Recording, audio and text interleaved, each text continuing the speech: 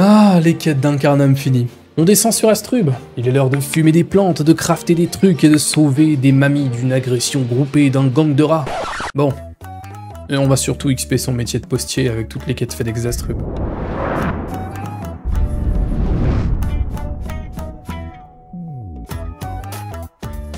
Bonjour à tous, c'est Barbedouce et bienvenue sur l'épisode 2 de l'aventure NoHDV.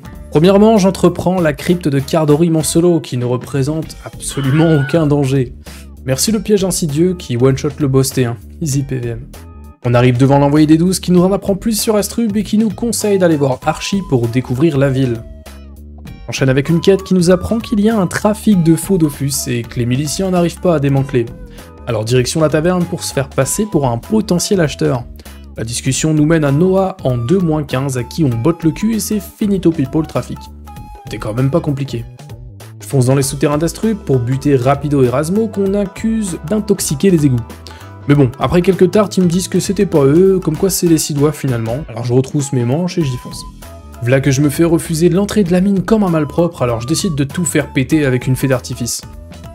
Bon, c'est un poil exagéré la réaction, mais la diversion semble fonctionner, et là, je me retrouve devant un dragon tout petit, tout mimi, qui parle de lui à la troisième personne.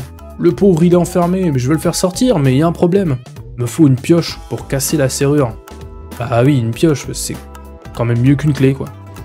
Voilà qui est fait, c'est le guet-apens. Un gang de six doigts veulent ma peau, mais finalement, le dragon, c'est pas un dragon, c'est un écureuil trop chelou. J'imagine que c'est les effets de l'intoxication. Du coup, je me fais fumer la gueule, mais le dragon écureuil, en fait, il est giga fort, il leur cogne le branlé à tous. Du coup, direction la tour du conseil, mais là, il y a Fallen qui me péta mon dragon écureuil que je venais de capturer et j'ai rien compris. Bon, il fait 2 mètres cubes le bonhomme, on va éviter de l'énerver. Hein.